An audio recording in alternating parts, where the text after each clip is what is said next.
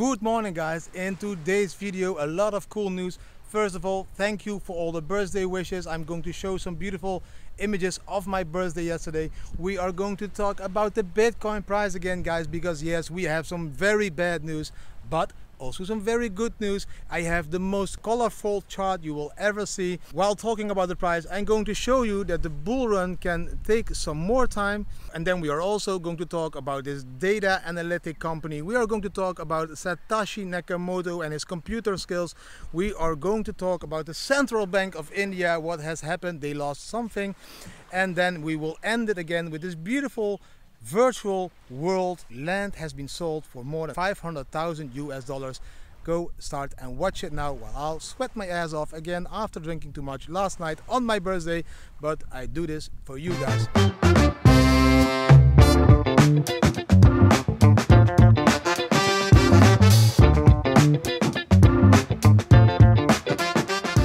Good morning guys on this beautiful day again here on my office Phangan. I am going to take this small jump into my office if I am still able because you can see my small eyes. Yes, I had a few drinks last evening on my birthday. It was an amazing day. It started with a beautiful breakfast made by my family. I got some beautiful presents. One of the beautiful things I received is this beautiful Bitcoin bracelets. I don't know if you can see it. I love it, the reggae colors. My cake was even in reggae colors because my wife and kids thought we have been giving these Bitcoin cakes now for many years. Now let's do something different. I want to thank you all guys for uh, all these beautiful birthday wishing cards, private messages. It was so many messages. I cannot answer you all. So sorry if I forgot to answer you. I, I created this beautiful thank you card. Me on the moon with my cake looking back on earth um, referring of course to the moon. In the evening some friends came by um, to name a few. We had Carl the Moon over there. We had MM Crypto Chris, we had Marcus, Moira, Sonic um, from DNX, we had uh, Holger from World Safari Marketplace. Meine Deutsch ist nicht so super gut, aber wir hatten Dirk und Mariam von Weltsprung Familie auch da. Um, Alex was there. Alex is from the ebookwoche.com. He's a good uh, friend and also helped me tremendously with my book in German, which you can still buy. The book is in German. Also, this um, how do you say audible of the book is also in German. So check the links below this video if you want to read or listen to the book rewrote about a big adventure.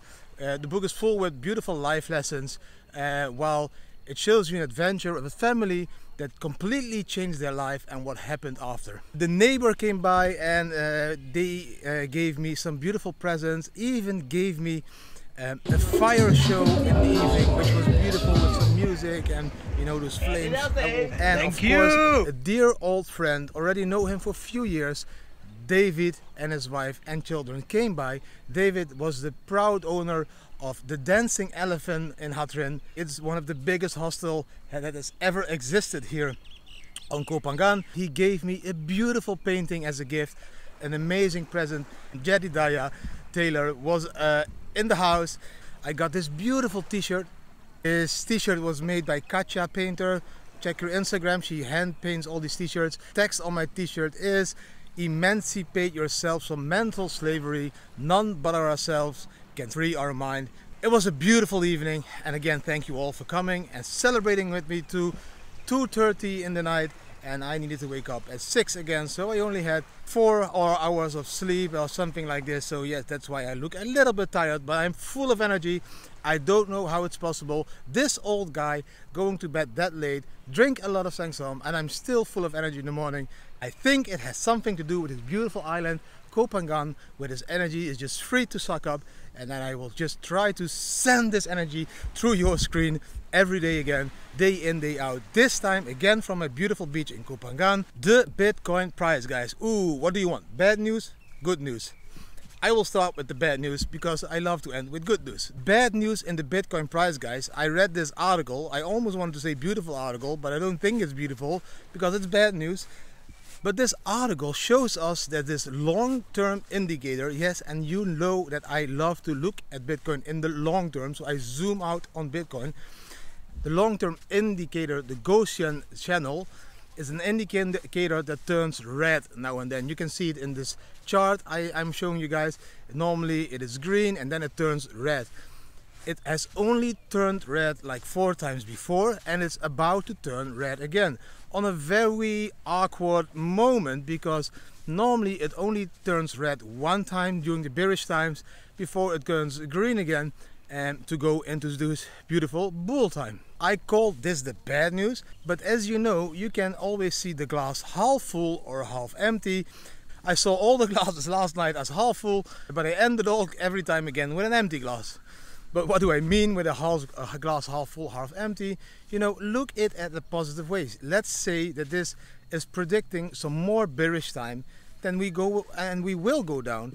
That is positive because you can buy more bitcoins because if we zoom out in the long term even this channel is showing us that we will go to new all-time highs in the next couple of years. The bad part of the news is that it will take longer than we all expected. Because if you check this chart this chart is telling us that we would be going sideways 8 to 10k 8 to 10k till the end of this year then slowly pick the pace up in 2021 to reach a new all-time high around 21k 20k but it will take till 2022 to go in this full-blown bull run that will bring us to 140k so yes short term hmm, bad news long term I am still I am still a believer and I still think Bitcoin will go way above 100,000 US dollars.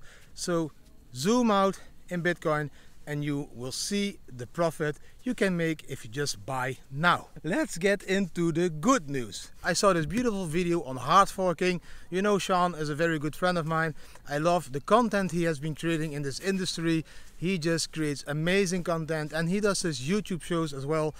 And in the last YouTube show on hard forking, they had Lisa N Edwards over there Lisa is uh, Craig Wright's sister.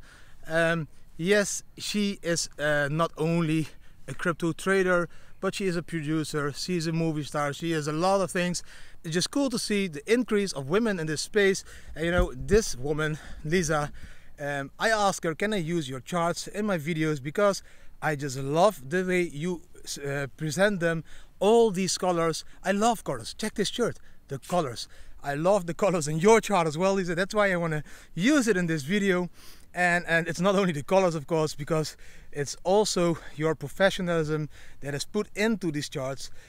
You are sharing a lot of knowledge in these charts and that's why I want to use them now and then. Thank you for letting me use them while I walk again through this beautiful, beautiful forest of palm trees and mushroom look-alike like trees happy mushroom trees. Happy mushroom trees combined with palm trees on a white sand beach.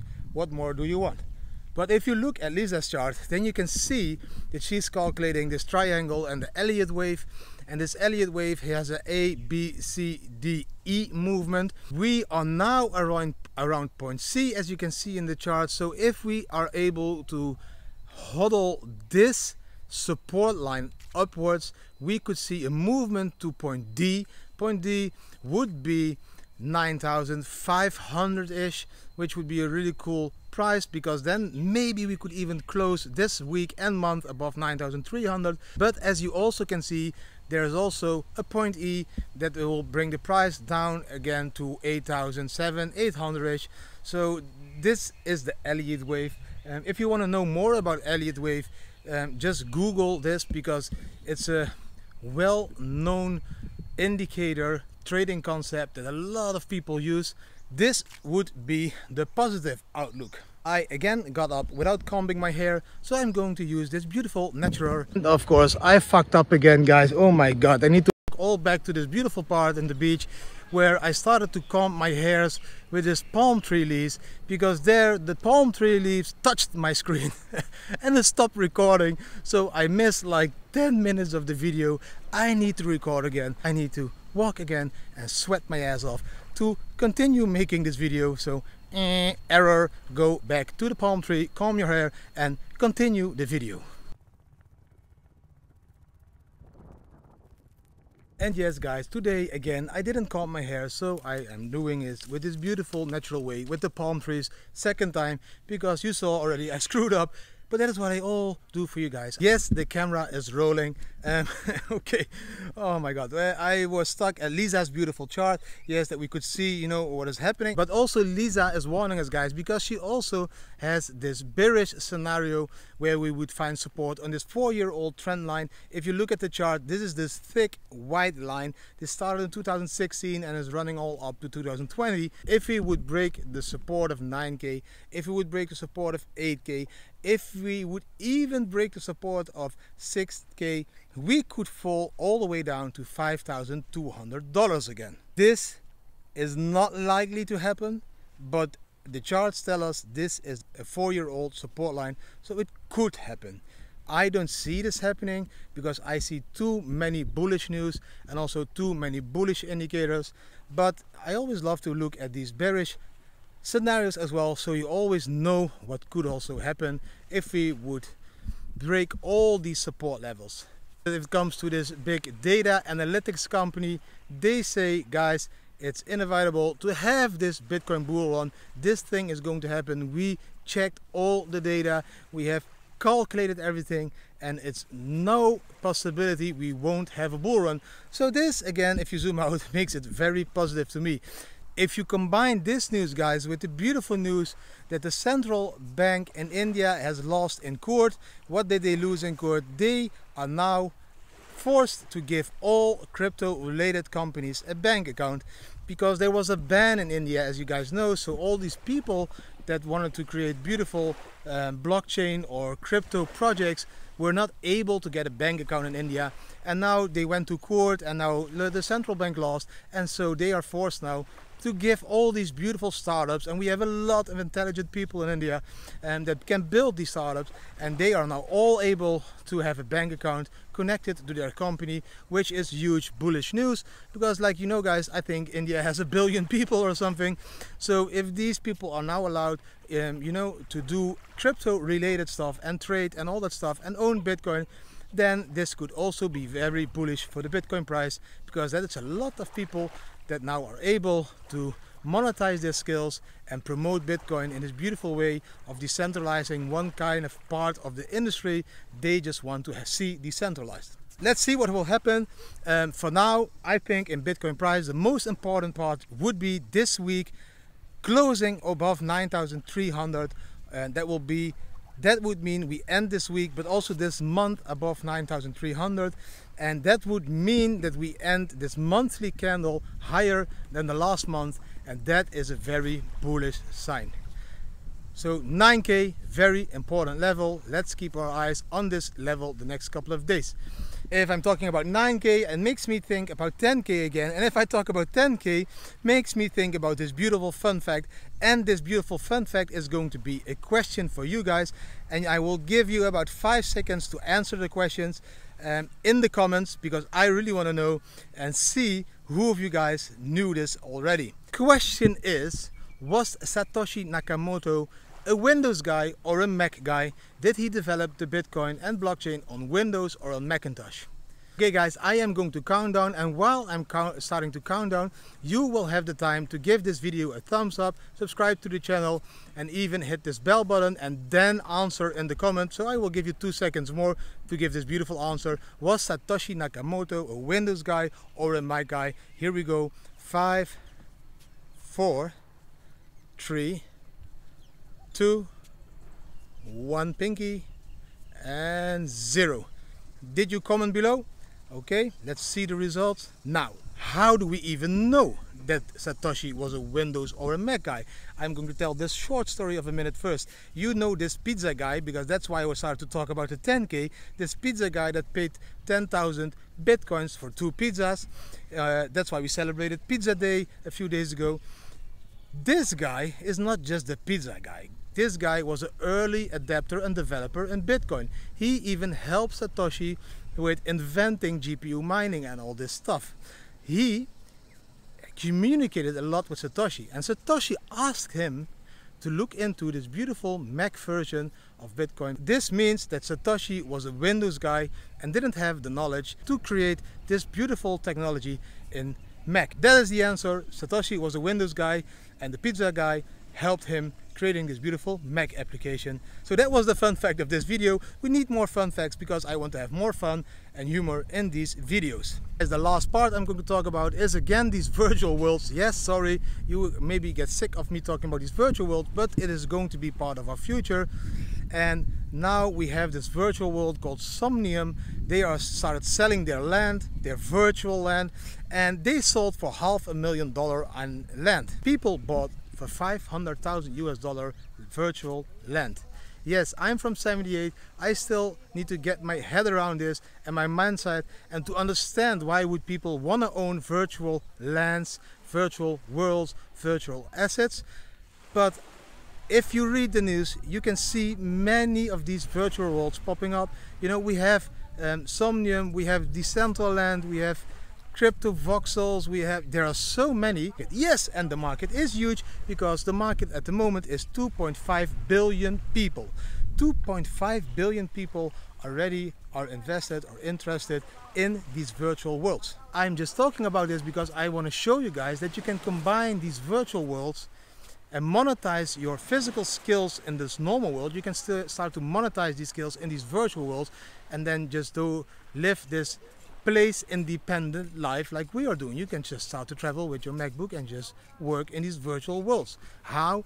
For example, if you're a photographer, you can now sell these photos online in these virtual worlds or paintings in these photo, uh, virtual worlds and people will hang these pictures or paintings up in their houses in these virtual worlds. So all the things you can think of in this normal world we are living is going to slowly evolve into these virtual worlds as well.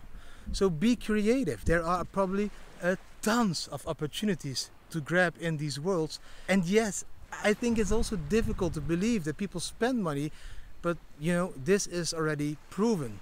2.5 billion people are in this industry spending a shitload of money on virtual assets, on their avatars, on houses, on land, on all this stuff. So it's not just a could happen thing, it is already happening. So I would really dig into it if you're into earning some money online and just explore it because it's something new and, and, new things are always exciting to explore because I love exploring as well. And if you explore, you learn and learning is always good. It can't be bad if you do it in this beautiful creative way. That was it for today guys. I hope you really enjoyed this video. I'm going to take some more rest because I'm a little bit tired after only having a few hours sleep. So I hope you can give this video a thumbs up, subscribe to the channel, click the bell button so you'll be notified on every new video.